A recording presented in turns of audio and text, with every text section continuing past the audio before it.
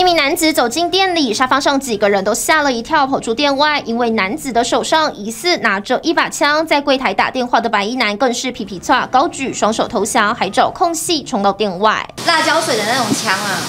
对，所以他远远看以为是真真枪，然后隔壁邻居吓到。没多久，大朋友小朋友进店内，手上提着蛋糕，原来这一切都在演戏，要帮身为店长的白衣男庆生，但他吓得魂飞魄散，还呆呆坐在沙发上喘着大气。不过，其他店员早已向警方报案。拿枪的那个还有带他家里的人来嘞，就是小朋友跟他老婆都来，太太熟了，然后就是那个时候有小吵架，这样比较逼真吧。这场乌龙庆生就在高雄前镇一家租车行，五月二十一号是高兴店长三十一岁生日。日，一群朋友突发奇想，找来二十六岁的张姓友人，假扮强匪，戴口罩，持着手枪造型的辣椒喷雾枪闯入店内，还高喊“店关起来”。等到警方赶到时，没看到持枪歹徒，反而是一伙人在吃蛋糕的搞笑画面。那个乍看之下是好像是真枪，那其实那是一个。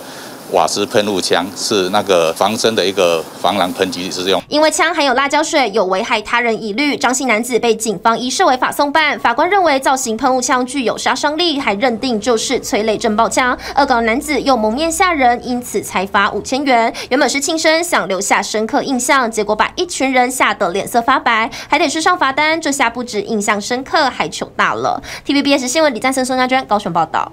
请订阅、按赞、分享 TVBS News 频道，要开启小铃铛哦。还有还有，下载 TVBS 新闻手机 App，随时掌握国内外大事。